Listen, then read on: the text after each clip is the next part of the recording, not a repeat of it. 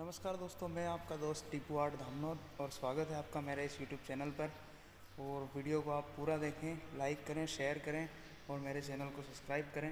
और मैं आज आपको देने वाला हूँ एक जानकारी जो हमने बाबा श्याम के लिए हमने जो रथ बनाया था, उसको अब हम अभी एक दूसरी जगह पर हमने उसे सेट किया है, यहाँ पर, जहाँ पर एक दूसरा प्रोग्राम है जो अभी उस दिन से लेकर अभी तक ये रथ को संभाल के रखने के लिए फिर भी थोड़ा बहुत वो आ, कहीं से टूट चुका है।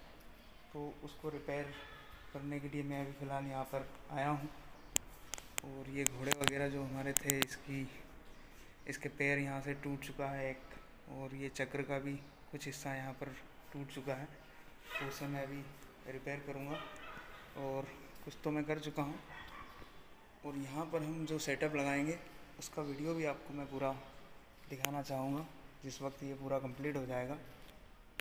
अभी यहाँ पर हमने सारी चीज़ों को लगभग पूरी तरीके से सेट कर दिया है। यहाँ पर भी फूलों का डेकोरेशन आएगा तो इसलिए हमने अभी यहाँ पे एक प्लाई को ऐसे राउंड शेप में लगाया है, झुकाकर स्लेब में। और यहाँ पर फूलों का ओरिजिनल फूलों का डेकोरेशन होगा और यहाँ पर गुरु महाराज जी की प्रतिमा को हम फिट करेंगे।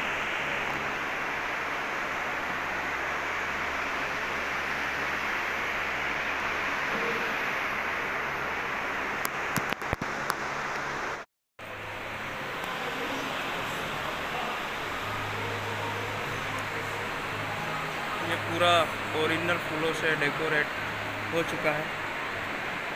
और यहाँ पर अब गुरु महाराज जी की चित्र छवि को स्थापित करना अभी बाकी है, जो मैं अभी करने जा रहा हूँ।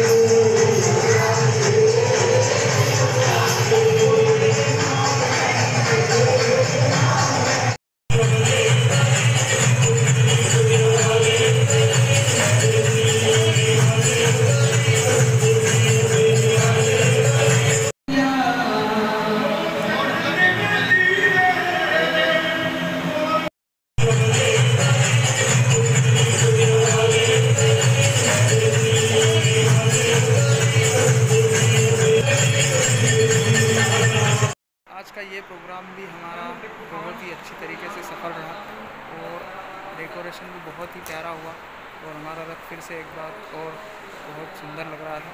तो आपको ये सिंगार और रथ और ये मेरा वीडियो कैसा लगा? अच्छा लगा हो तो लाइक करें शेयर करें और मेरे सब्सक्राइब करें। धन्यवाद।